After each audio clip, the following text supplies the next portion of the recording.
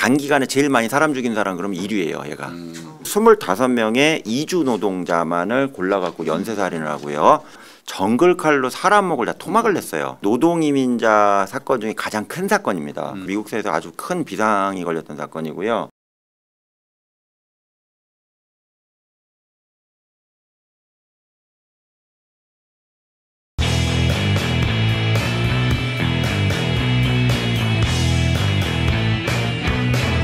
저희 사건 의뢰물 제품 중에서 비타민 C 세럼, 글로시라고 기억하시죠? 원래 비타민 C를 액상화하면은 어, 열이나 빛 같은 그 외부 변화에 아주 쉽게 산화가 된다고 해요.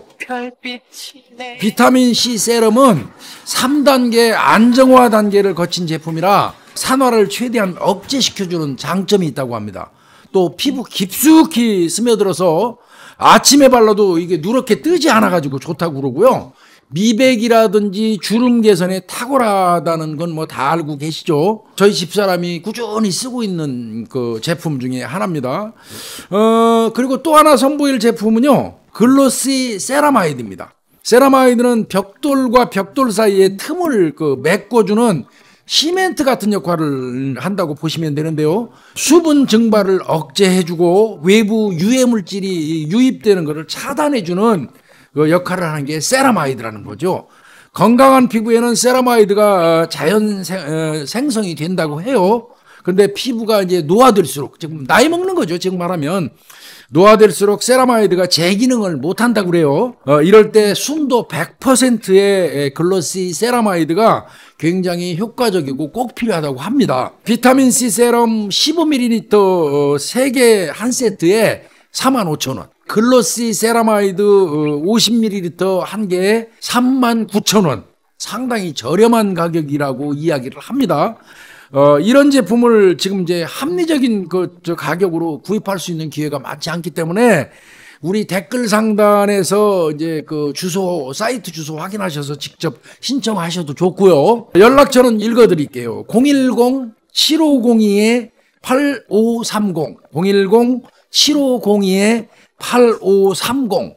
어, 전화하셔서 주문하셔도 된다고 합니다. 아, 많은 이용 바랍니다. 이번에 신상품이 나왔는데요. 스킨 softener, 선크림, 클렌징, 보습, 미백, 주름 개선에 도움을 주는 스킨 softener, 선크림, perfect 클렌징, 간편한 파우치 형태로 되어 있어 휴대가 편한 게 특징입니다. 새로 나온 제품도 많은 이용 바랍니다.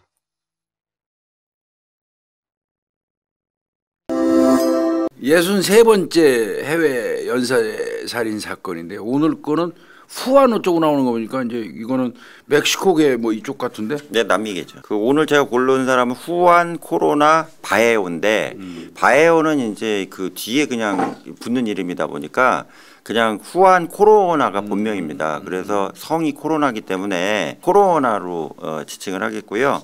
그 교수님 여기 칼 하나 나와 있죠.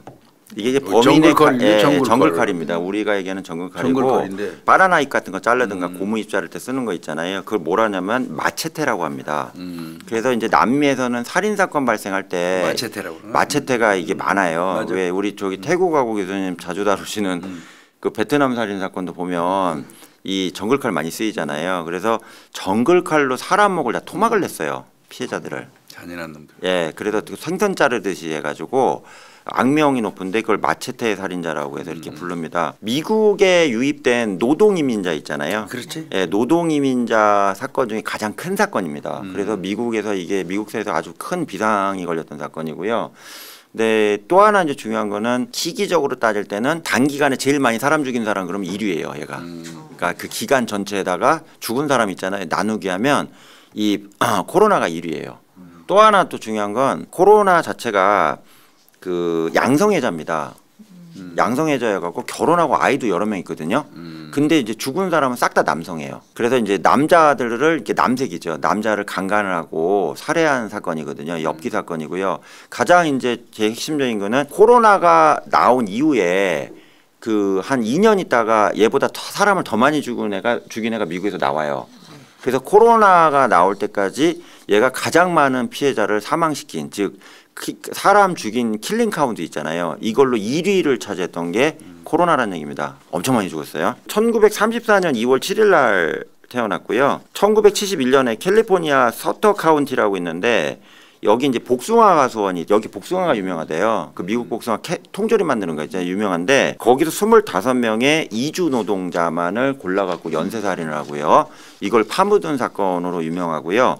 그 멕시코 출신이긴 한데 미국에서 살인을 저질렀잖아요. 캘- 그래서 그 미국 살인 사건으로 이제 counting이 됩니다. 근데 옛날에 제가 딘 코를이라고 옛날에 교수님 한 거 기억나시죠? 딘 코를 있잖아요. 얘가 나오기 전까지는 미국에서 넘버원 연쇄살인범이었습니다. 왜 그러면 25명이나 죽였기 때문에 죽인 사람 숫자로 할 때는 이제 압도적 1위를 차지한 사건이었습니다. 성장 과정은 이주 노동자 불법 체류로 처음에 이주 노동을 왔기 때문에 이 사람에 대한 기록이 미국에서 조사했는데 잘 안 나와요. 멕시코 기록이.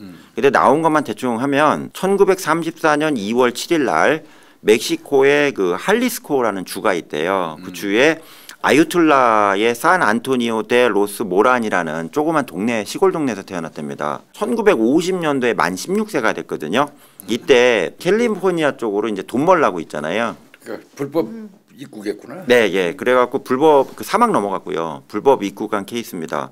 그래서 캘리포니아 국경으로 넘어온 다음에 그 임페리얼 밸리를 그 거쳐요. 임페리얼 밸리라는 지역이 있거든요. 거기서 3개월 동안 당근하고 멜론 수확하는 그 농장 노동자로 일했고요.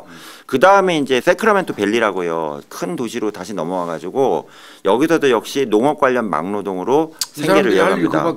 근데 여기서 중요한 거 얘가 16살 때 아무런 연고도 없는 미국으로 넘어온 이유가 하나 있어요. 얘 보고 넘어오라는 사람이 있었거든.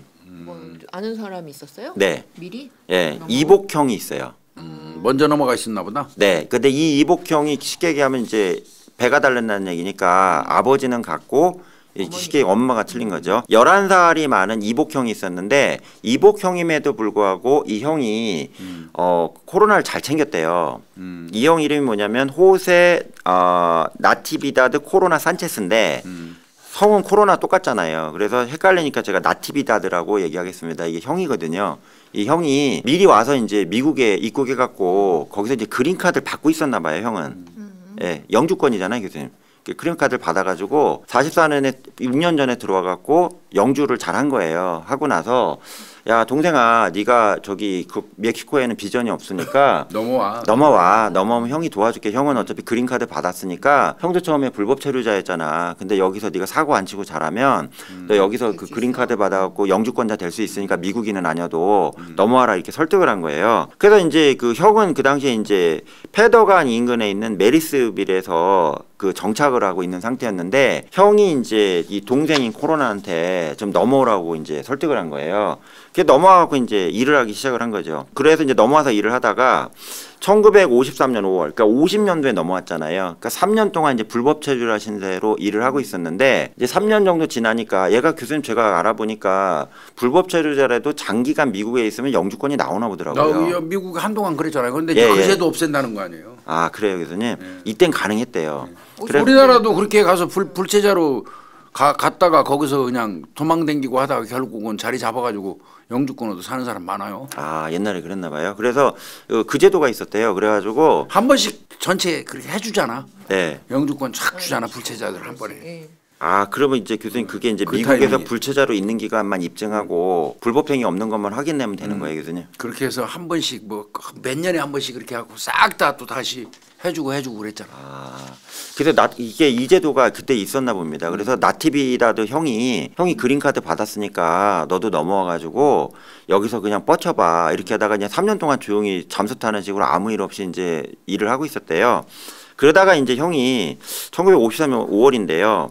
나티비다드가 아 내가 있는 메리스빌이죠 지역에 여기 목장이 농장 같은 데가 좋은 데가 많으니까 거기 산골에서 짱 박혀 있지 말고 형하고 근처에 살면서 와서 일해라 이렇게 설득을 합니다. 그러니까 이제 오니까 어떻게 해요? 그러니까 이때부터 이제 일을 해야겠죠. 그래서 형이 있는 동네 근처로 와가지고 이때부터 이제 농장에서 일을 하고 이때까지 아무 사고를 안 쳐요. 왜 그러면 영주권을 받아야 되기 때문에 안 살고 잘 지냅니다. 1953년 10월 24일 날이요. 그 네바다주 리노를 방문했는데 거기서 한 여성을 만나요.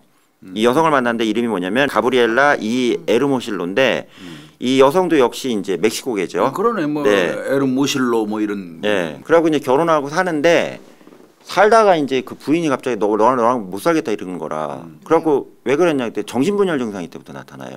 에, 예, 그러니까 갑자기 이제 헛소리 하기 시작하고 뭐 이상한 말을 하기 시작하니까 이 당시에 이제 부인이 즉 에르모실로가 너 이상해 너랑은 살면 안 될 것 같다고 헤어집니다. 이 당시엔 아이는 없었고요. 그리고 이혼하고 나서 이제 1959년에 여기 사전에 나와 있죠. 이게 두 번째 결혼한 가정인데 글로리아 아이 모레노라는 여성을 만납니다. 이렇게 만나서 재혼을 해갖고요. 딸만 네 명이에요. 제가 파악한 거로는 첫째 딸은 그냥 한 명 나왔고요. 둘째, 셋째, 넷째 딸은 새 쌍둥이인 것 같아요. 쌍둥이? 예. 음. 그래갖고 순식간에 이게 네 딸을 키우는 아빠로 돌변을 합니다. 이때부터 이제 가정을 꾸리고 사는 거죠. 그러다가 이제 정신질환이 발병이 됩니다. 이때부터 예, 이제부터 이제 맛이 가기 시작을 했는데 1956년 1월에요. 처음으로 정신분열증으로 발작 증세를 보이기 시작을 했고요. 갑자기 이제 뭐 방언 같은 거 있죠. 말랄랄라 그러고 방언하고요. 그다음에 이상한 행동하고 막 이상한 헛소리를 해버리니까 주변 사람들이 놀라기 시작을 했다는 얘기입니다. 그러니까 이제 어떻게 해요? 야 이거 큰일 났다 싶어 갖고 아까 그 이보경이 있잖아요. 예, 나티비다드가 야 너 이름 큰일 나. 너 잘못하면 추방당해. 너 이러다가 혹시라도 사고 치면 경찰이나 이민국에 잡혀가면 체포되니까 일단 너 저 치료 좀 받아야 해서 그래갖고요. 형이 병원에 입원을 시킵니다. 그래서 캘리포니아주의 5번에 있는요 두윗 주립병원 있는데요. 이 주립병원에 정신병동에 입원을 시킵니다.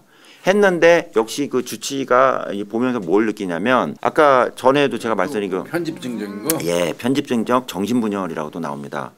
이게 이 판정을 받으니까 어떻게 해요? 방법이 없잖아요. 근데 이 당시에 뇌에다가 전기 자극을 줘갖고요. 아 그런 치료했다니까 정 저 정신질환자들. 교수님 맞아요? 근데 우리나라도 그랬어요. 우리나라도 과거에 우리 어렸을 때 과거에 네. 정신병원 가면 뇌에다가 정, 정 전기 치료한다 고 그래가지고 네. 뇌에다가 전기 충격 주는 그런 치료법이 있었어요. 이게 왜 그러냐면 어. 뇌가 결국은 작용을 하는 게 전기 신호를 네. 가지고 이제 뇌가 작동을 하는 거잖아요. 그러다 네. 보니까 어떤 그 예를 들면 간질이라든지 뭐 이런 것들도 전기 음. 맞아요. 치료가 뭐 일부 효과가 있다 뭐 이렇게 뭐 옛날에 그런 연구들이 많이 있었어요. 봤어요. 나 어렸을 때는. 네. 전기 자극을 줘가지고 뇌를 자극시켜가지고 음, 음. 이런 그 뇌의 비정상적인 활동을 좀 치료하는 목적이다라고 이렇게 행해줬죠. 맞아 있었어요. 해요? 지금 해요? 지금 지금은 안 해. 지금은 안 해. 나 어렸을 아, 때는 비과학적인 어, 거 동네에서 저 정신질환 있는 사람들 그 가면 전기 치료 한다고 그랬어요. 이게 음. 효과가 완전히 없다라고 이렇게 단정질 수는 없지만 부작용이 너무나 큰 거고요. 그렇지, 일단 그렇지. 아. 뇌에다가 전극을 삽입하는 것 자체가 맞아요. 이거 어떻게 너무 이제 큰 리스크가 있는 음. 방법이잖아요. 예. 그러니까 우리 그 뇌 전달 체계에 있는 전기보다는 훨씬 엄청나게 큰 매기는 그리고 거잖아요. 그- 뭐 일단 순간적으로 그죠. 빡빡 지지는 건데. 인위적인, 예. 그래갖고 이제 그 아까 말씀드린 그 뒤 주립병원에서는요 이게 훌륭한 실험체가 온 거라. 그걸 막 했구나 그냥. 예, 이 기록 찾는 게 좀 애를 먹었거든요. 얘가 왜 갑자기 또라이가 됐냐 했는데, 그러니까 교수님, 그러니까 그 병원에 들어가기 전까지는 약간 헛소리하는 정도나 이상행동 정도에서 끝났는데 정신병원 갔다 오고 나서 맛이 갔다는 기록이 많아요. 아이고. 씨. 근데 왜 그랬냐 했더니 공식 기록으로 23번이나 전기 자극 치료를 받았대요. 아, 근데 이게 그 당시 홍 교수님 얘기하는 식으로 학계에서 논란이 많았답니다. 이게 불법 체류자니까 맘 놓고 했을 거야 실험 삼아서. 그랬을 수도 있고요. 요, 요 시기에 막 50년 막 이런 시기에 음. 뇌의 어떤 치료 방법 막 이런 거에 대한 이제 그 음. 연구들 막 이런 것들이 막 이뤄지면서 음. 전기 자극이 너무 눈에 딱 가시적으로 보이는 거예요. 맞아요. 효과가. 아 모든 효과가 있어요. 이제 다운돼요 사람이. 그 이제 이제 어느 부위에 어느 어. 부위에 이제 전기를 먹이느냐에 따라서 내가 이제 영역에 따라서 이제 그 에이, 기능이 네. 다르잖아요. 그 이제 막 전극 같은 거 이렇게 심어가지고 네. 이게 전기 또 이제 그리고 또 이런 것들 있죠. 전압을 어느 정도 줘야 되는가 이런 게 어. 기준이 없잖아요. 네, 기준. 사실은 이런 사람들한테 조금 그런 거를 조금 어. 실험체 어. 삼아 네. 어 그렇게 또 진행됐을 가능성도 배제할 수는 없죠. 이게 핵심인데 제가 이제 계속 그 코로나 사건을 보면서 얘가 그, 그, 그 시계 아무 일 없이 가다가 왜 갑자기 확 그 맛이 갔냐 이게 요 왜 그러냐면 교수님 진짜 농담하는 게 아니고 이 2주 만에 사람 25명을 죽였거든. 그러니까 정신질환이 있다고 그래가지고 사람을 살해하는 케이스는 극히 드물잖아요. 예 예. 어, 극히 드문데 아마 얘는 정신질환이 있어도 온순하게 갔던 사람 같아요. 예 그랬대요. 근데 맞아요. 이제 불법 체류자 신분에다가 병원에 입원시켜 놓으니까 불체자 신분이니까 마음 놓고 전기 치료 막 한 것 같고 거기에서 부작용이 양산돼 가지고 그때부터 이제 회로가 꼬여서 이- 다발적인 그 살인 사건을 저지른 게 아닌가 싶어. 그러니까 이게 이제 교수님 공식 기록이 안 나오고요. 언론 기록에 나와요. 그러니까 언론 기록에 나온다는 것은 공식 기록에는 얘가 이제 그 프로파일 했을 거 아니에요 여기도요 했는데 얘가 정신병원에 잠깐 들어갔다 나왔다 이 정도만 기록이 나왔더라고요. 근데 이게 나중에 보니까 멕시코 언론이나 이제 미국의 캘리포니아 지역 언론사에 보니까 23번에 걸쳐서 뇌에다가 전기를 때렸다 이게 나오거든요. 그게 제가 이게 제가 궁금했는데 오늘 교수님들 만나서 생각이 든 게 김 교수님 얘기하신 게 맞는 것 같아요. 이렇게 불, 불체자다 보니까.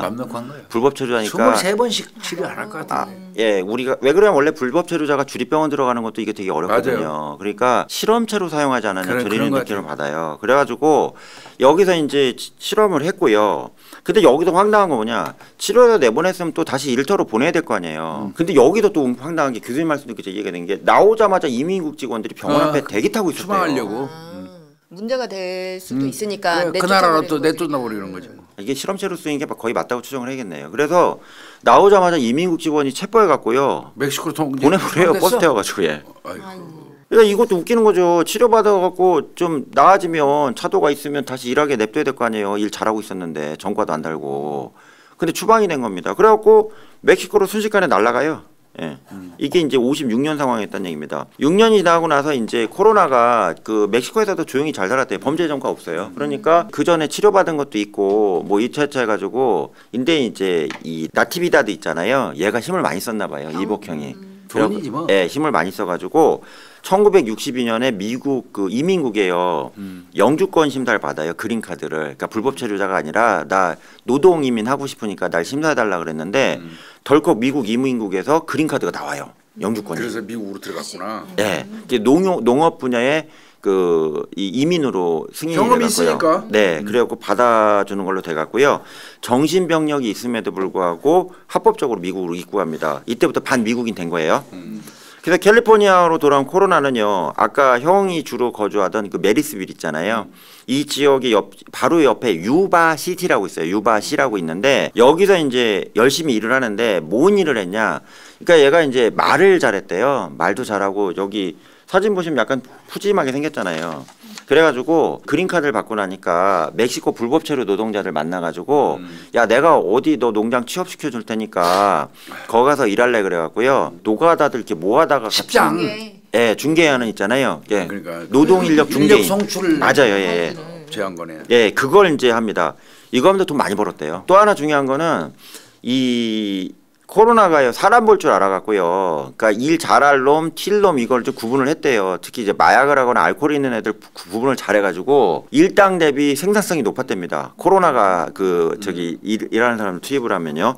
이러니까 이제 심지어는 그 농장주들이 너무 고마워가지고 주택까지 하나 줬대요. 진짜 좋은 집에 살았대요.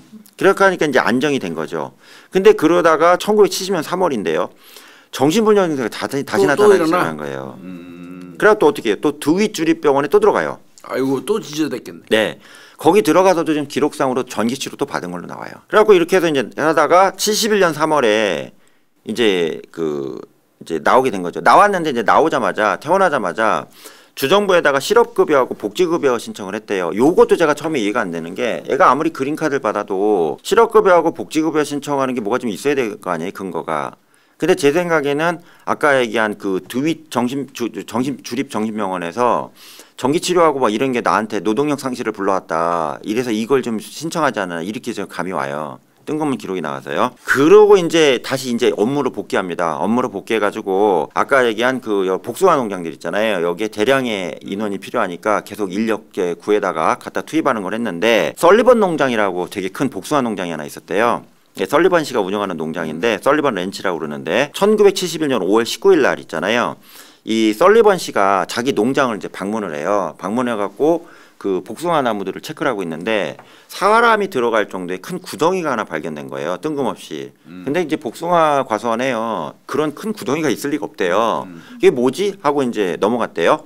그러나서 그 다음 날 또 썰리번 씨가 또 방문을 한 거라 방문을 했는데 그거 메꿔져 있더래요. 그 구덩이가. 어. 되게 큰 구덩인데.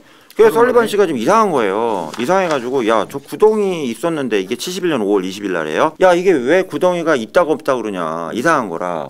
그래갖고 같이 그 돌아다니던 그 노동자들한테요. 야 저거 좀 파봐 그런 거예요. 그리고 주지가 팠는데 팠더니 이제 목이 잘린 시체가 나온 거라. 어. 이래서 적발이 된 거예요.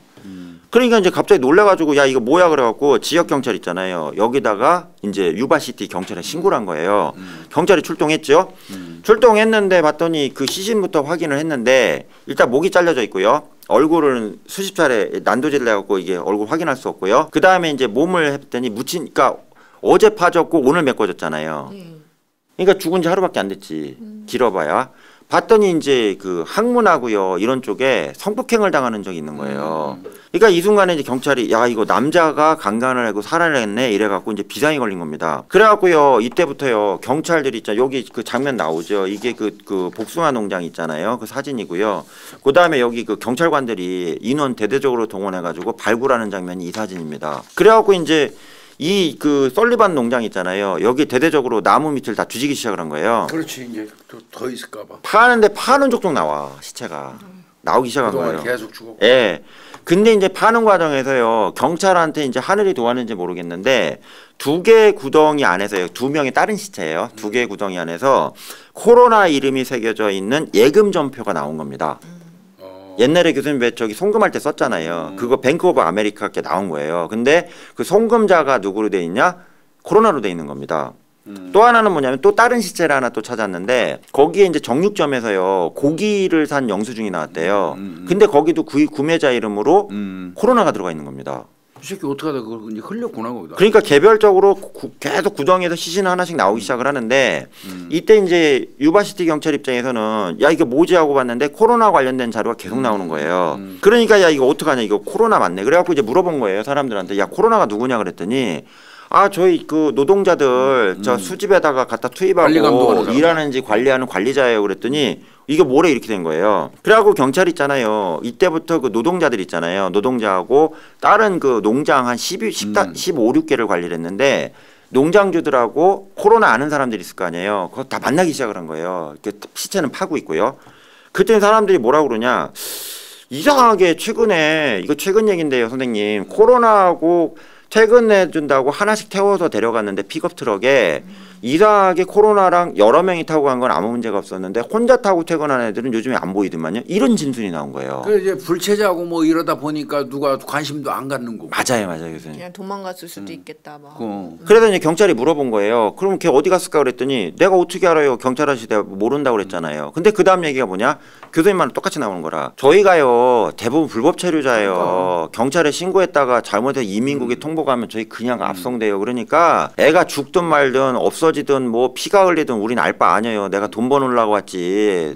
배, 배 타고 넘어가려고 왔냐고 이렇게 얘기가 나온 거라. 이러니까 이제 유바시티 경찰에서는 야 이놈 새끼가 사고 쳤나 보다 이렇게 된 거예요. 그래갖고 이 진술하고요 시체 나온 거하고요 그 다음에 영장을 청구하려면 교수님 뭐가 있어야 되잖아요. 그러니까 코로나 이름으로 나온 전표 있잖아요. 영- 뱅크 오브. 아메리카 정- 영수증 두 개 하고요. 고기 구입한 영수증을 기반으로 해서 얘가 유력한 용의자니까 얘 집을 대상으로 압수수색을 좀 하겠습니다. 이렇게 영장을 청구해요. 그랬더니 1971년 5월 25일 날 법원에 영장이 발부가 된 겁니다. 그래서 71년 5월 26일 날 다음 날이죠. 가택 수색했어. 새벽에 쳐들어갔대요. 왜 그러냐면 코로나가 이때 일을 빨리 나가니까 여기도 똑같이 이제 노동자들이 새벽에 일을 간대요. 그래서 출근하기 전에 쳐들어가자 그래갖고 경찰 10여 명이 유바시티 경찰이죠. 쳐들어가갖고 집으로 밀고 들어갑니다. 들어가자마자 이제 코로나가 당황했고 당신들 누구야 그랬더니 아저씨 미안한데 우리 수색 좀 할 테니까 빠져요. 그러고 수갑 채운 다음에요. 대대적으로 이제 코로나 집을 수색합니다. 수색하는 과정에서 증거물 막 쏟아져 나오는 겁니다. 첫 번째는 뭐냐면 피 묻은 칼 있잖아요. 두 자루. 그 다음에 피 묻은 마체테. 아시죠? 아까 정글칼. 예, 그거 나왔고요. 권총 안정. 음. 그 다음에 피 묻은 다수의 옷 여러 벌 있잖아요. 그렇겠지. 이게 발견이 됩니다. 끝난 거죠? 예, 네. 그러니까 이 순간에 이제 경찰 입장에서 는 너씨 체포해요. 그래갖고 체포한 겁니다. 근데 이 압수하는 과정에서요, 34명에 34명에 노동자 이름이 적혀 있는 장부가 발견이 된 거예요. 근데 거기 보면 날짜가 기록이 돼 있는데 이 날짜 의미를 경찰이 해석을 못한 거라. 음. 근데 이제 주변에 얘기해 봤더니 그 날짜 이 사람이 사라졌다는 진술이 많은 거예요. 그리고 경찰 있잖아요. 너 이 34명 다 죽인 거 아니야? 이렇게 물어본 거예요. 그랬더니 여기서 이제 코로나 뭐라냐? 난 몰라요. 그냥 그날 저기 월급 준 날이에요. 이렇게 얘기를 하는 거라. 근데 여기서 있잖아요, 교수님. 발굴을 하는 과정에서 정확하게 34명의 명단 중에 7명은 시체로 발견이 됩니다. 근데 이거 34명일 수도 있잖아. 그럴 수도 있겠네. 지금 발굴된 것만 경찰은 그렇게 봤어요, 교수님 같이요. 그러니까 34명 다 죽인 걸로 봐요. 근데 명이. 그러겠는데. 이게 교수님 이 복숭아 농장이요. 우리 기준으로 그런 과수원 사이즈가 아니고요. 음. 너무 넓어요. 에이커 단위예요. 에이커. 어, 어마무시하지. 에이커가 교수님 헥타르 잽도 안 된다며 이게. 어마어마하게 돼요. 그러니까 진짜 여의도 면적 하나만한 어, 복숭아 농장이 있대요. 못 찾은 것도 많을 거못 아니에요. 찾는데요. 못 다 찾는. 갈아 엎을 수는 없으니까. 야, 이게 서른 네명 다 죽인 것 같은데. 그래서 이제 경찰 입장에서는 이때부터 이제 캘리포니아 주립 경찰이 개입하거든요. 경찰이 주, 주경찰이 와서 이거 다 죽인 거야 이렇게 된 거예요. 그럼 뭐해 코로나가 아무 말 안 하는데. 그래갖고 이제 이러면서 이제 계속 파내는데 어쨌든 아까 얘기한 썰리번 있잖아요. 그 복숭아 농장에서는 25구가 나왔다는 얘기예요. 아, 많이 나왔네. 그냥 썰리번 농장 그게 농사 다- 끝장 났대. 다, 파- 다 팠대요. 봤네, 다판 다. 팠대요.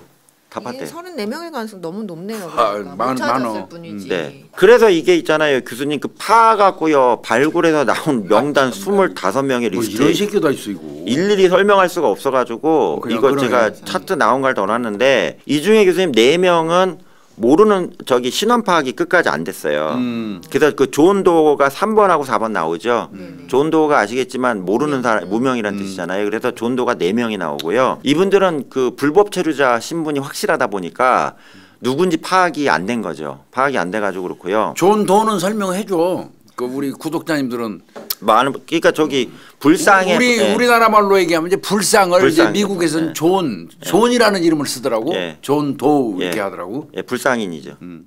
그래서 불상인이 네 명이 나오고요. 신원 확인이 전- 완전히 안 됐고요. 나머지는 나오는데 교수님 여기 성을 보면요. 이게 오해가 처음에 기사가 나온 게 중남미 쪽에서 즉 멕시코나 그 밑에 콜롬비아나 올라온 불체자만 죽이지 않았냐 그러는데 그렇지 않아요. 같아요. 이름 보면. 여기 보시면 백인 게 백인 많아요. 있잖아, 백인 스미스도. 있고요. 예, 그 다음에 잭슨도 있고요. 그래서 이 당시에 이제 여기가 이제 그 현금으로 있잖아요. 그리고 이 농장들이 잘 되다 보니까 미국 전역에서 이제 직업을 잃은 사람들이 4, 50대, 60대 있잖아요. 여기 나이대 보면 전부 다 맞네. 최소 40대예요. 그러네. 그러니까 중년 아저씨들이 돈 벌려고 여기서 일하는 백인계들도 많았기 때문에 이 사람들이 전부 다 성폭행을 당하고 살해된 걸로 추정이 됩니다. 그래서 지금 현재 여기 25명 있잖아요. 25명에다가 아까 34명에서 7명이 제가 확인됐다고 말씀드렸잖아요. 그러면 27명 있거든요. 그래서 경찰에서는 대충 때려갖고 52명 정도 죽인 걸로 봐요. 예, 근데 아까 말씀드린 파악된 것만 25명이라는 얘기입니다. 그래서 피해자는 중남미계 포함해서 다 백인들만 했고요. 얘게 취향이요. 흑인 남성하고 성관계하는 거 아시아계는 싫어해가지고 백인 남성만을 대상으로 공격을 했고요.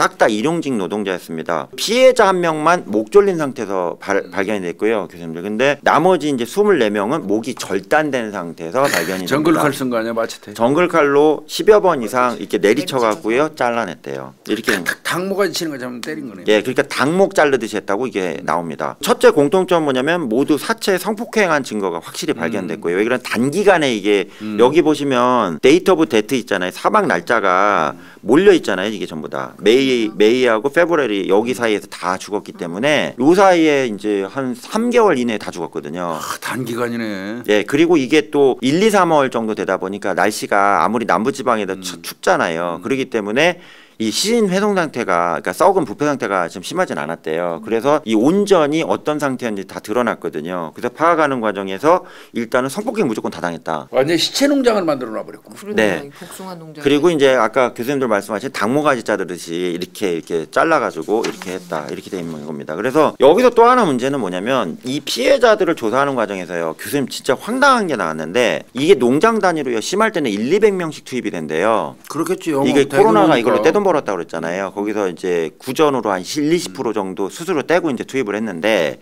여기서 그러면 다른 사람도 많은데 그 특히 20대 30대도 노동자가 많았대요. 잘생기고 이제 멋지게 생긴 사람도 있는데 그러니까 동성애자면 젊고 잘생긴 남성을 공격할 거 아니에요. 왜 그러냐 이렇게 조사를 했는데 첫 번째는 뭐냐면 절대다수가 전과자예요. 피해자들의 그러니까 취약한 사람들을 고른 거야. 없어져도 네. 누가 찾지도 않는 사람들. 네, 그래서 공통점으로 또 나온 게 연고도 파악이 안 돼요. 그러니까 그런 거죠. 응. 딱 대상을 선택한 거지 뭐. 왜 그러면 이 사람들이 죽은 지 3개월이 지났는데도 3개월 지나면 찾는 사람이 없잖아. 전화를 할 거 아니에요 가져가고 근데 전화가 오거나 농장에 저희 남편 일하고 있어 이게 없었단 말이에요 그러니까 코로나가 얼마나 악질적이냐면 이 사람들 밥 먹고 꼬시면서 얘기하면서 넌 가족은 있니 그렇지. 너 뭐 여기까지 왜 올라왔니? 그럼 또한 명 그랬대요. 죽은 사람 중한 명이 제가 옛날에 실수 사람을 죽였는데 그걸로 징역 15년을 사고 나왔는데 취업이 안 됩니다 그랬더니 그럼 너는 가족도 없겠네 아 제가 살인범으로 15년 교도소 갔다 왔는데 누가 날 찾겠어요? 이렇게 한 거라 요거만 다 잡아 죽인 거예요. 그리고 가족들이 농장에요. 전화가 자주 오거나 송금 있잖아요. 꼬박꼬박 하거나 편지 쓰는 있잖아요. 노동자는 아예 손, 컬털 끄다 안 건드렸답니다. 그렇겠지. 악질이죠. 그래서 이제 또 하나는 이제 농장주들한테 물어봤대요 경찰이. FBI까지 투입이 됐는데 아니 선생님 일하던 사람이 갑자기 뿅 사라지면 썰리반 씨도 그랬대요. 우리한테 얘기를 좀 해야 될 거 아니에요 경찰에다가. 어떻게 됐냐고 썰리반 왈 여기요 100명 갖다 놓으면요 하루에 열댓 명씩 사라져요 그거 어떡하라고 그건 사실이야. 그게 다 죽었겠어 이렇게 아, 얘기하는 우리도 거예요 불체자들 공장에 있- 갑자기 있다가 이탈하잖아요. 갑자기 사라지면 신고도 안 하잖아. 그렇죠 저 저 고용안전부에다가 그냥 그 저거만 하면 되는 거지. 아 그러네 예 그래서 이제 경찰에서 추정하기로는 그 이전에요 그 코로나하고 둘이 있다가 갑 이제 조사를 해봤는데 멕시코로 돌아간 케이스도 수십 명이 발견이 됐대요 그러겠지. 음. 이건 뭐냐면 코로나가 성폭행을 하고요 돈으로 메꾼 거야. 가 이거 들고. 예, 너 몇백 달러 줄 테니까 너 좀 가. 아저씨 신고하지 말고. 그래서 계속 보냈는데 나중에 이게 얘가요 맛이 가갖고 매일 갈아치면서 성폭행을 하다 보니까 도라이가 돼가지고. 얘가 이제 감당이 안 되는 거야 지도. 그러니까 이때부터 어떻게 하냐 하나씩 뭐 죽여버려갖고 파묻으면 되지 뭐 농장 넓겠다 뭐. 이렇게 된 거예요. 그래갖고 교수님 여기 하나만 더 추가적으로 제가 조사한 거 말씀드리면 이래갖고요 이놈 새끼 때문에 무슨 일이 벌어졌냐면 이 지역 있잖아요 복숭아 농장이 박살이 났대요. 당연하지. 그죠. 그걸 먹었어요? 누가 먹어? 어, 아무도 안 먹죠. 거기서 기사에- 생산된 그 복숭아를 누가 먹냐고. 그래갖고요 처음에는 이게 뭔 일이야 그랬는데 그 지역의 복숭아 농장이요 거의 파상 직전으로 그러, 몰렸대요. 그러겠네. 아이고. 이때는 뭐 농업 보조금 이런 것도 미국에 없는 상황이다 보니까 음. 이게 소문이 다 난 거예요. 기사에 다 나니까 거기 복숭아 사러 온 사람도 많대요. 해복숭아 있잖아요. 그냥 박스 단위 막 싣고 가- 생산지 사가는 사람이 많았는데 이게 딱 터지고 나니까 야 거기 있는 복숭아 전부 다 사람 그 저기 걸음 쓴 거다 이렇게 소문이 다난 거라. 이 자식이 그냥 그냥 끝난 게 아니라 동네까지 박살을 냈다는 얘기입니다. 이게 당시에 경찰에 체포돼 갖고 올 때 여기 소리 지르는 거 보이시죠, 교수님? 후덕하잖아요. 돈 많이 벌었어요. 이 양복도 되게 비싼 거래요. 그 넥타이 보니까 이탈리아 제 예, 넥타이 그그 완전. 그것만 처바르고 다녔대 요 아주 나 이거. 있거든. 네, 진짜 부자였대요. 그래가지고 현금 부자였대요. 얘가 그때 경찰들 앞에서 저 억울해요, 선생님들 저 범인 아니에요 이렇게 소리 지르는 장면이 이 장면이고요. 그 다음에 이때 있잖아 재판 받을 때 있잖아 당당하잖아. 얼마나 개기름 흘러. 쓰레기 같은 놈입니다. 그래갖고 이렇게 됐어요. 1차 재판이 시작이 됩니다. 지금 말씀드렸다시피 이게 71년도에 사건이 터져갖고 이때 썰리반 농장에서 터졌잖아요. 터졌는데 1971년 5월 30일 날 코로나를 체포한 유바시 있잖아요. 유바시의 그 경찰, 그 보안관이 여기 이제 경찰청장인데 그 로이 어, 휘테커라는 분이 있잖아요. 그 유바시에서 살인 사건이 벌어졌잖아요. 그러니까 관할이니까 얘를 유치장에 넣어놨는데 무슨 일이 벌어졌냐면 그 경찰서 있잖아요. 경찰청 앞에 데모가 벌어진 거예요. 주민들이. 어, 그러면 그 새끼 신변 안전을 확보 못 하지. 그래서 이제 두 가지 버전이 있었는데 하나는 뭐냐 그 백인들 비질란트 있죠 자경단에서 총 같은 거 죽여버리려고. 데려 내보내 우리가 해결해 줄게 저런 새끼 안돼왜 음. 그래 아까 얘기한 농장 초토화됐잖아요 농장주들이 그렇지 난리 났겠지. 피해가 너무 발생하니까 삽도 들고 왔대요 때려 죽인다고 이 새끼 신변 보호해야 되겠네. 근데요 이게 카운티 셔리프 수준에서 있는 지역 경찰에서. 이거 안 우티게 방어를 해다 주민들이 또 컨트롤이 안 아시잖아요 돼. 또 보안관이 투표로 뽑잖아요 맞아. 선출제니까 저 사람이 나 다음에 연임을 시켜줘야 되는데 안 되지. 이 사람들이 내보내달라니까 이거 큰일 난 거라 보안관이 안 내, 안내 얘 보안상의 입장으로 얘안 안 내보내면 난 다음에 낙선되는 거고 그 내보내자니 이건 피해 뭐 피해자 보호도 안 되잖아요. 그러니까 이제 이 로이라는 보안관이 그 간부들 불렀대요. 별 하나 두 개짜리 있잖아요. 그러니까 경무관쯤 되는 다 불러다 놓고 야 이거 어떻게 되냐 이런 거라. 그때 이 순간에 있잖아요. 그 한 놈이 아이디어 낸 거야. 이거 여기 냅두면 진짜 저 화염병 들어오니까 이거 안 됩니다. 이렇게 된 거예요. 그래서 어떻게 해야 돼 그랬더니 옆에 있는 서터 카운티가 훨씬 크니까 거기 그냥 거기 교도소잖아요. 우리는 유치장이고. 그걸로 아예 이감해 버리면 되지. 그래서 글로 이감시킵니다. 그래갖고 일로 점프해서 넘깁니다. 그때 이제 주민들이 그랬대요. 너 걔 왜 보내냐 그랬더니 아 방법이 없어요. 우리는 이게 해결 안 되니까 보낼게요. 이렇게 넘깁니다. 1970년 6월 4일 얘가 지금 현재 5월 30일 날 있잖아요. 보안관실에서 이게 유치장에 있다가 그 카운티 교도소 넘어가잖아요. 이때도 파고 있었대요. 그러겠지 찾겠지. 그 큰 농장 다 파고 있었겠지. 그래갖고 썰리반 농장을 최종으로 마지막으로 판 게 71년 6월 4일인데요. 최종적으로 수색이 종료됐고요. 이때까지 총 파악한 게 25명이라는 얘기입니다. 더 팠으면 더 34명 있어. 다 나왔을지도 맞아. 모르겠다. 그래도 교수님 또 하나 때가 기사를 되게 많이 찾아봤고 이 사건 때문에 여- 농장주들이요 하지 말라고 그랬대요. 이제 더 이상 한 명이면 되지 뭘 저 어차피 종신형인데 계속 파 이랬대요. 맞아. 그러니까 거기서 경찰이 파야 될 거 아니에요. 그랬더니 썰리반 씨부터 난리 쳤대요. 야 이러다가 복숭아 다 죽어 이거 나무 어쩌갈 거야 이런 거예요. 그래서 원래는 FBI에서 와서요 옆에 있는 농장 있잖아. 얘가 사람 파견한 데 있죠. 네. 거기 다 거기만 팔라고 하려고 그랬대요. 음. 근데 거기 농장주들이 난리가 난 거라 뭘 아, 못판 파냐고. 거야 이게. 그러니까 여기 이제 텐데. 이게 71년도 상황이니까 가능한 건데요. 그때 전에 그 돼지 농장 아시잖아요. 그때는 그냥 자다 뒤집어. 발굴해 버렸다. 뒤집어 엎었잖아요. 근데 이거는 아닌 거라. 그래갖고 이제 방법이 없어갖고 이제 거기서 쇼- 종료가 됐고요. 1년이 지나갖고 이제 72년도로 넘어가는데요. 이때부터 이제 형사 재판이 개시가 된 겁니다. 그래서 재판관 할 때면 좀 시끄러웠는데 그 어쨌든 이제 그 재판관화를 어쨌든 그 캘리포니아 주 있잖아요. 법원에서 진행하는 걸로 했고요. 근데 요때 이제 하나 운이 좋은 게 뭐냐면 얘가 재판 대시 개시 되기 전에요.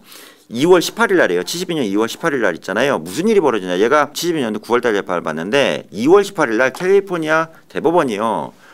그 판결 하나 내요. 뭐냐. 캘리포니아 주에서는 이제 사형을 폐지한다. 음, 맞아 사형 폐지. 주 헌법에 생명의 존중성이 있는데 우리가 이거 사형을 집행하는 건 주 헌법에 위반하니까 위헌이다 이거 하나 얘기했고요.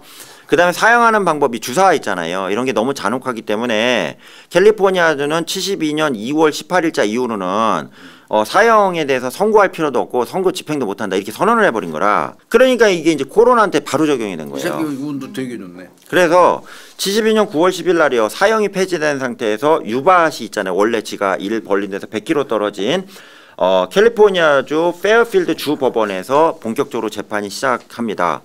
이 과정에서 이제 배심원 선정하는데 몇 주가 걸렸고요. 재판 개시는 3개월이 더 지나가지고요. 어 이제 쉽게 얘기하면 73년도 있잖아요. 이때부터 이제 개시가 된 거죠. 근데 여기서 이제 하나 재판이 웃기게 돌아갑니다. 이게부터 이제 웃긴 내용인데 원래 이제 국선 변호인인 반덴 회벨이라는 변호사님이 국선 변호인 붙었거든요. 붙었는데 재판을 하는 과정에서 갑자기 이제 사선 변호인으로 바뀌어요. 반델 회벨 변호사는 국선이고. 예, 국선 변호사인데 이 사람은 정상적으로 변호를 했어요. 그래서 뭐냐? 얘가 지금 그 조현병이다. 정신분열 상태로 전에 진단받은 것도 있고 치료받은 게 있기 때문에 이걸로 우리 무죄 주장할 거고 정신 감정이 필요하다 그래요. 그래갖고 법원에서 한번 해볼까 그랬는데 갑자기 변호사 바뀌어요. 누구냐면 어, 리처드 호크라고요. 양아치 변호사예요. 갑자기 사선 변호사가 한- 갑자기 들어오더니 아 제가 국선 변호인 저 저기 해임했고요 의뢰인이. 제가 변호인인데 아 저기 정신 감정 안 해도 됩니다. 갑자기 이런 거예요. 그래서 주법원 판사가 야 너네한테 유리한 건데 이걸 왜 안 해? 그랬더니 득보려고 돈 그냥 유명세. 유명 사건인데. 그래서 스물다섯 건을 다 인정합니다. 이래 버리는 거예요 갑자기. 그래서 그때 판사가요 당황했대요. 야 스물다섯 건을 왜 인정해? 재판을 해, 한번 하자고 그랬대요. 소- 꼬셨대 거꾸로. 부장 판사가 야 재판 좀 해. 그랬더니 아, 안 할래요. 그냥 다 인정할게. 이런 거예요. 그래고 그냥 판사가 어이가 없어가지고 코로나를 증인으로요. 판사가 채택을 했대요. 야 걔 좀 불러봐 그럼. 걔 의사를. 걔가 진짜 25건 유죄를 다 인정하는지 불러봐 그랬더니 이 호크 변호사 뭐라는 줄 아세요? 안 나올 건데? 이러는 거예요. 왜 안 나와? 그랬더니 인정한다니까요. 그냥 끝내주세요. 이런 거예요. 할 말 없습니다. 그냥 이거잖아요. 다 네. 인정합니다. 끝. 그래서 거기서 판사가 또 그랬대요. 야 그럼 야 종신형 세게 나와. 진짜 이게 25명 다 인정하면 상관없겠지. 뭐. 잘못하면 25바퀴야 그랬대요 진짜로. 그랬더니 호크 변호사 왈 아, 필요 없어요 이런 거예요. 이게 무슨 일이 있었냐면 이때 코로나 부인 있잖아요. 부인이 열받아가지고 변호사비를 안 대준 것 같아요 돈은 많았는데 야 이 새끼야 어? 네가 동성애자인데 날 데리고 놀아? 애를 셋이 넷이나 낳고 날 농락해? 그래갖고요 부인이 열받아 버려갖고 협조를 안 한 것 같아요. 그러니까 얘가 돈이 없잖아요. 그러니까 국선면을 쓸 수밖에 없었는데 얘가 전국에 사건이 막 터져서 신문에 나오니까 이 호크라는 양아치 변호사가 와가지고 내가 너를 무료 변론해 줄 테니까 날 선임해라 이렇게 한 거예요. 이 새끼 저거 자서전 쓰게 해서 먹으려고 그런? 맞아요 교수님. 그래갖고 그랬더니 계약서 하나 들이밀더래요 코로나한테. 그렇지. 예, 교수님 맞아요. 그러니까 코로나가 이게 뭐예요 변호사님 그랬더니 있었어. 당신 초 맞아요 교수님. 당신 초상권 그다음에 당신 쓰는 자서전 당신과 관련된 기사 그다음에 TV 나오는 방송의 모든 이익은 내가 다 가져갈게. 네, 그렇지. 대신에 변호사비는 자기 무료. 공짜야 이렇게 된 거예요. 그래놓고 변론을 안한안 거잖아요. 한 거잖아. 그러고서는 이제 다 인정하는 거지. 근데 여기서 또 하나 교수님 중요한 게 이게요 재판 과정에서 시끄러워지면 호크 입장에서는요 무죄를 주장하는 변호사가 되잖아요. 자기가 쓰레기가 되기 싫은 거야. 음.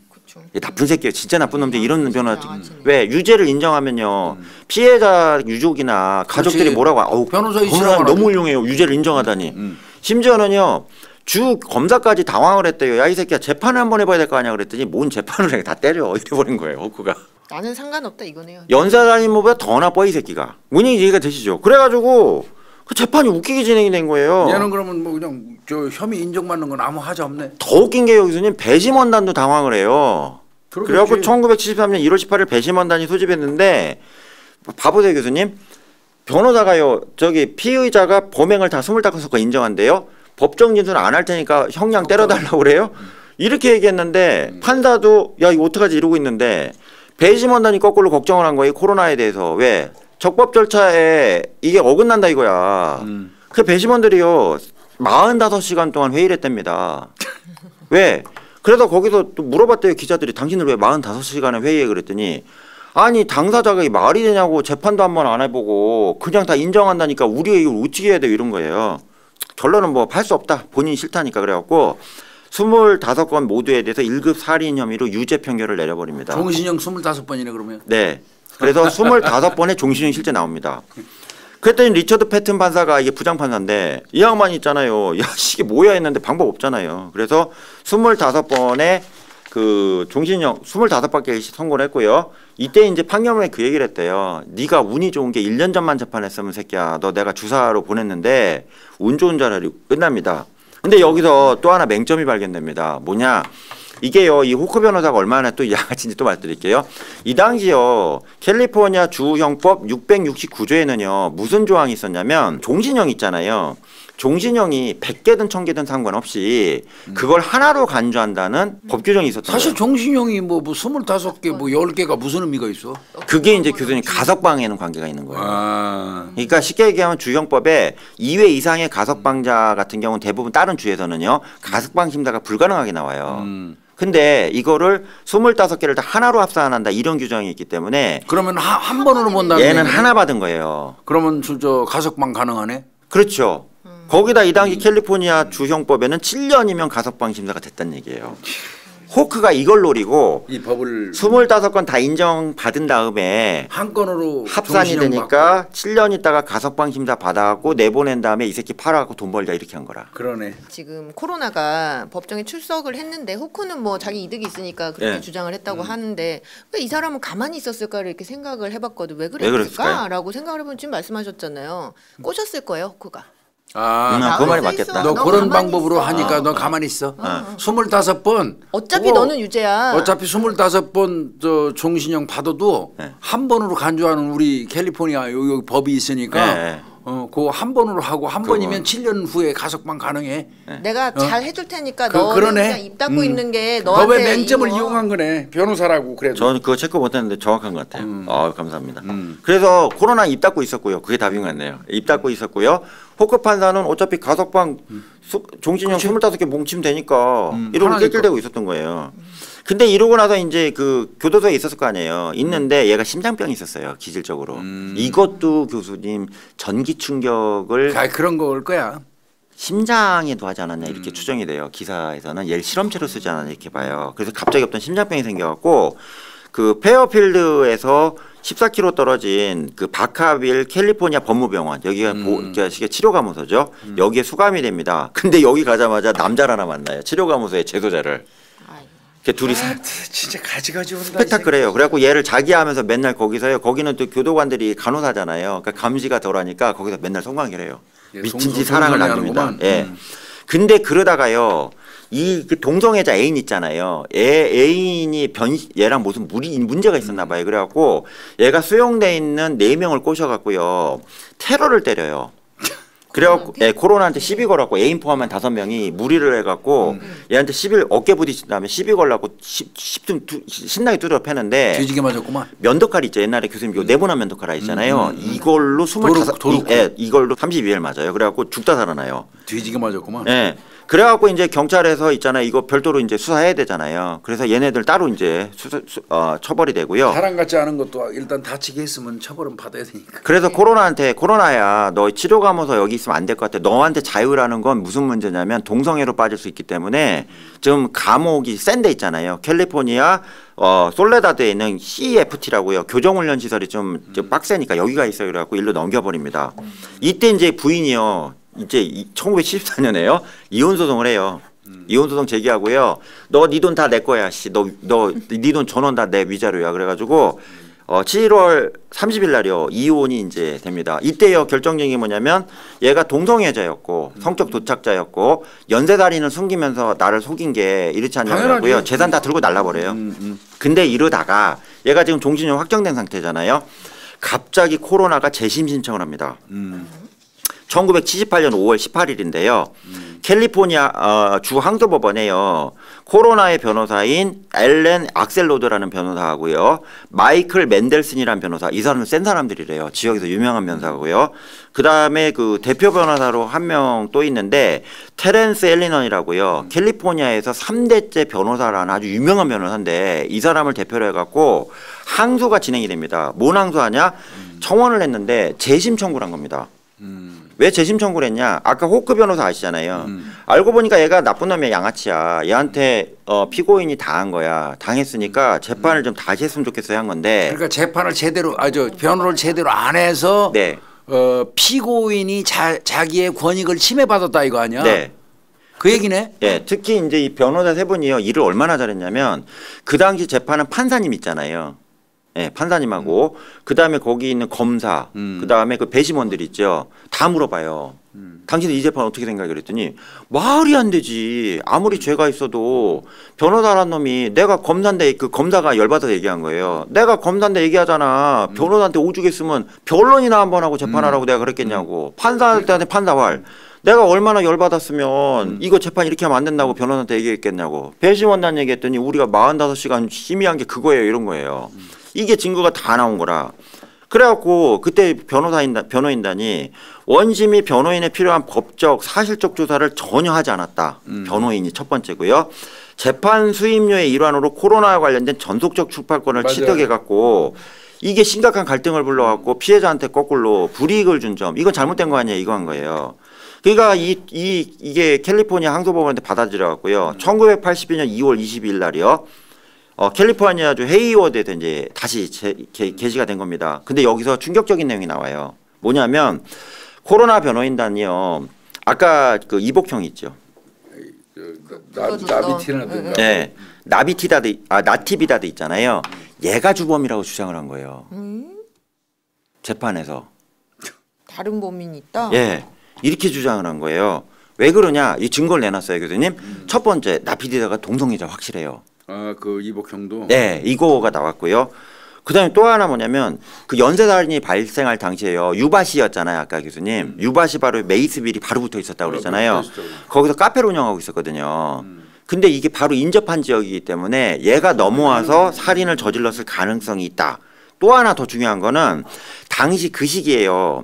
로메로 라야라는 그 남미계 미국인이 있었는데 얘를 있잖아요. 자기 카페로 있잖아요. 나티비다드가 유인을 해갖고요. 욕실로 끌어가서 강간하다가 강간으로 있잖아요. 고소를 당해요. 경찰에. 그리고 경찰이 수사하려고 그랬더니 어, 배, 배 저기 차, 차 타고 넘어가고요. 도망가 버린 거예요. 홀딱 도망갔구나. 기소 중지 상태였어요. 음. 그래갖고 이 넘어가 과다할라로 넘어갔거든요. 음. 그러니까 이걸 근간으로 해서 아니 그 전에 코로나가 강간이나 성범죄 한 번도 안 저질렀고 조용히 살던 애였고 음. 오히려 그 친형인 나피디다 나티비다드가 음. 더 나쁜 놈이다. 얘가 범인이다. 근데 얘가 억울하게 뒤집어 쓴 거다. 이렇게 막 주장을 한 거예요. 음. 또 하나 중요한 거 이게 교수님 82년도에 재판이 다시 열렸다고 그랬잖아요. 근데 이복형인 나티비다드는 이미 1973년에요. 과달라라에서 사망했거든요. 어. 얘를 불러낼 수도 없는 거라 멕시코에 죽어버려가지고. 특히 아까 대표 변호사인 테레스 엘리넌이라고 그랬잖아요. 이 사람 진짜 유명한 변호사예요. 지- 그 지금도 제가 임명사전 찾아보면 캘리포니아 유력 인사에 들어가요 천 명 안에. 이 사람 있잖아요. 50명 이상의 피고인 측 있잖아요. 즉 쉽게 얘기하면 코로나 측 증인 다 불러가지고 네가 한 거가 네가 볼 때는 코로나 같아 아니면 그 이복형형 같아 이러고 이제 막 하기 시작을 한 거예요. 그러고서 이제 통역을 불러갖고요. 이 코로나 그때 있잖아요. 그 재판에서 두 번째 항소 때 증언하는 장면이에요. 불러다 놓고서는 그 판 저 변호사 물어봐요. 두 가지 질문했대요. 국가가 당신에게 25명을 죽였다고 기소했는데 알고 있습니까? 그랬더니 예 이렇게 답변했대요. 그다음에 어 25명의 죽음에 대해서 당신이 깊은 관련성이 있냐 그랬더니 아니요 이렇게 답변을 했대요. 아니라고. 예, 딱 2분 했대요. 이러면서 했는데 여기서 있잖아요. 이게 변호사 센 사람이 있어도 반전 있는 거예요. 교수님 봐보세요. 배심원단이 본 게요. 얘가 진술한 걸 본 거예요. 왜? 코로나가요. 불법 체류자 신분으로 50년도부터 넘어왔잖아요. 미국에서 계속 살았잖아요. 근데 이 당시 질문할 때요. 영어로 한 게 아니라요. 통역을 대동했다고 그랬잖아요. 그러니까 언어가 잘 안 됐나 봐. 이게 말이 안 되는 거란 얘기입니다. 이게 이거에서 깨진 거예요. 왜 농장주가 다 미국 사람이잖아요. 그럼 그 사람들한테 돈 받고요. 그 다음에 멕시코계 아이들하고 대화 나눠가지고요. 사람을 수급해야 되기 때문에 이국 그리고 얘가 아까 돈 많이 벌었다고 그랬잖아요. 양쪽 언어가 능통하지 않으면 얘가 이 일을 하지 못한다. 이게 배심원단이 첫 번째로 이게 뚫은 거고요. 두 번째는 뭐냐면 얘가 교정시설에서요. 벌써 10년 가까이 들어가 있었잖아요. 다 영어만 하는 애들이야. 그러니까 영어가요. 세상에 재판에 다시 재심을 하러 왔는데 영어를 못 알아듣는다고요. 통역 있잖아요. 멕시코 스페인어라는 애 갖다 써가지고 한다. 이게 지금 쇼하는 거다 이렇게 본 거예요. 얘네가 이게 가장 패착했어요. 그래갖고 이때부터요. 처음에는 이복형이 범인 아니냐 이렇게 보다가 여기서 뒤집어졌대요. 왜? 아니 저놈이 나와가지고 영어로 답변하고 영어로 얘기를 해야지 왜 음. 하나도 못 알아듣나 헛소리하냐 이거예요. 돈 실컷 벌어놓고선 쇼다 이거예요. 그래갖고 어떻게 해요? 54시간에 예, 저기 배심원단이 52시 54시간의 회의 끝에 있잖아요. 1982년 9월 24일 날 유죄 25건에서 싹 다 그냥 유죄 판결을 해버립니다. 그거 실수했구나. 예. 그래서 이거 찾는 게 가장 고생이었는데 얘가 왜 지금 계속 좀 재판상으로는 이복형으로 몰고 있는데 왜 이렇게 했는데 결과적으로 이제 진술 과정에서 이 스페인어 쓴 거 있잖아요. 이게 패착했다는 얘기입니다. 앞에 사진 보시면 그 당시에 이민자들이요. 얘 범인 아니다 해갖고 데모하는 인권단체 사진입니다. 결과적으로 이제 유죄가 됐고요. 되니까 CTF에서 계속 아까 구- 교정훈련 시설에 있었다고 그랬잖아요. 근데 너는 거기 있으면 안 될 것 같아. 그러니까 좀 센 데 가자 그래갖고 이거 실제 무, 무, 기지 같죠. 어마어마한 데인데요. 이 캘리포니아주 코코란 주립교도소 진짜 무서운 데입니다. 이 10대 교도소예요. 일로 이감해갖고 여기로 이제 들어가게 됩니다. 그리고 나서 여덟 번이나 가석방 신청을 정신 이상으로 했는데 이거에 대해서도 캘리포니아 아, 주법원은 예. 기각을 합니다. 근데 이제 2019년 있잖아요. 3월 14일 날 85세 나이로 그냥 조용히 있다가 갑자기 숙환으로 사망합니다. 아, 근데 형이 이 진범이었다는 주장은 또 너무 이게 피해자와의 연관성을 생각해 그러니까. 보면 너무 좀 확장 해석을 한 부분이 있는 것 같아요. 근데 이제 정리해서 하나만 더 추가로 말씀드리면 일부는 형하고요 공범이 이렇게 봐요. 그러니까 그럴 가능성은 있어 보여. 그죠? 그럴. 가능성. 그럴 가능성은 있어 보이지만 얘가 터무니없이 관계 네. 없다고는 절대 보이지 않아. 네. 아니 서로 또 형이 동성애자라서 형한테 사람을 공급해 줬다고 하더라도 얘는 범인이지. 네. 그다음에 살해는 얘가 했을 수 있어. 또 네. 형이 저 시켜 가지고. 네. 그리고 묻은 것도 얘가 했을 수도 있고. 네. 그러니까 관계가 없다고 볼 수는 없죠. 그러니까 이제 얘기가 그게 이제 강간이라 하더라도 그 당시 합의를 보면요 형량이 아주 낮아지는 게 있, 있었기 때문에 굳이 멕시코로 도망갈 이유가 없었거든요. 근데 멕시코로 도망간 이유 중에 하나가 이 동생계 범행과 관계성이 아니냐 이게 하나가 있고요. 또 하나는 멕시코에서 불쌍의 사유로 테러 당해서 죽은 걸로 나와요. 그래서 보복을 당하지 않았겠냐. 가자마자 그냥 진짜 불쌍해서 순식간에 죽어버리거든요. 그래서 이게 이제 그 죽은 사람 중에서도 그쪽에도 뭐 불체자 중에 라인 있을 거 아니에요. 그래서 그게 아니냐 추정하는 게 하나 있고요. 그 다음에 교수님 말씀하신 대로 일단은 주는 코로나 같지만 형도 같이 이렇게 그러니까. 연계가 돼 있을 가능성이 있지 않냐 이렇게 보여준다는 얘기입니다. 근데 사실 얘 혼자서 하기에는 3개월 동안에 34명을 예. 순식간에 해치우고 강간하고 땅에 파서 묻고 막 이렇게 하는 게 그 쉽지 않았어 보이거든. 네. 철인이 아닌다면 네. 그리고 또 하나 교수님 더 말씀드릴게요. 그 나온 김에 구덩이를 파는 게 보통 일이 아니잖아요. 그러니까. 래서 어떻게 지금 기계로 추정을 판 것도 아닐 거 하냐면. 하나를 죽이고요. 아, 그러니까 한 명을 데려와요. 데린 다음에 구덩이를 파라고 그래요. 그래서 이제 죽여서 그 다음에 얘를 음. 성폭행하고 얘기를 묻고요. 그 다음에 또 다른 애를 와서 구덩이를 파라고 그래요. 그러니까 이게 얼마나 쓰레기 같은 놈이냐면 추정상으로는 지가 묻힐 구덩이를 파괴시킨 다음에 성폭행하라고 끌고 가서 죽이자냐 이렇게 봐요. 가능 가능하네. 예, 아주 나쁜 놈이란 얘기죠. 왜 그래? 얘가 삽질을 그때 안 했으니까. 그래서 이제 메꿀 때는 지가 있을 거 아니야. 그 뒤에 아이를 데려다가 했을 가능성도 있다. 뭐 이런 얘기도 나오고요. 다양하게 나오고- 릴레이식으로? 예, 릴레이식으로요. 그래서 다양한 추정들이 지금 나오고 있습니다. 그러니까 아예 그 총으로 협박해 갖고요. 현장에 끌고 가서 이제 뭐 메꾸든가 하든가 이런 게 하는 게 이런 식으로 추정도 나옵니다. 그래요. 오늘 오늘은 멕시코계 연쇄살인마네요. 네, 미국 후안 연쇄살인마. 코로나 바에호 네. 음, 마테치 살인마. 바이오는 이제 아마 어머니 성일 겁니다. 네. 예. 오늘 염 교수님 뭐 고생했어요. 네, 감사합니다, 교수님들. 홍 박사까지 오니까 아유, 좋네요. 네, 아. 수고했어요. 네. 사건으로의 우리 구독자님들 지금 4월인데 지금 한 여름처럼 덥습니다. 뉴스를 보니까 아무래도 이제 이상 기후로 인해서 올 여름은 뭐 엄청나게 덥다고 해요. 제가 더위에 엄청 약하기 때문에 벌써부터 지금 걱정이 태산입니다. 땀도 많고 그래가지고 오늘은 이 더운 여름을 대비해서 시원하게 잠잘 수 있는 상품을 좀 소개해 드리려고 합니다. 이 상품은요, 제 친구가 판매하는 상품입니다. 침대 패드입니다. 그 다음에 베개 커버, 쿨패드인데요. 쿨패드 여러분들 다 아시죠? 지난 여름 더울 때 깔고 잤었어요. 정말 시원합니다. 쿨패드 깔고, 쿨패드 베개 베고, 쿨패드 이불이 있으면 덮으면 냉장고가 아닐까 하는 정도로 그렇게 시원했습니다. 공기가 굉장히 잘 통하는 그런 소재로 만들어져서 땀이 나도 달라붙지도 않고요. 이름처럼 몸에 닿는 순간 그냥 시원함이 바로 어, 느껴집니다. 근데 이제 색상이 흰색이에요. 그러다 보니까 아 이거 세탁에 문제 있는 거 아니냐 이렇게 생각하시는 분들 계실 텐데요. 원단 자체가요. 얼룩대가 잘 지워지는 소재로 만들어졌다고 합니다. 그래서 그큰 부담 없으실 겁니다. 그리고 건조도 상당히 빨리 된다고 하고요. 패드의 내면이 밴딩으로 되어 있어서 침대에 고정이 가능하고요. 사이즈는 싱글 사이즈부터 시작해서 패밀리 사이즈까지 아주 다양하다고 합니다.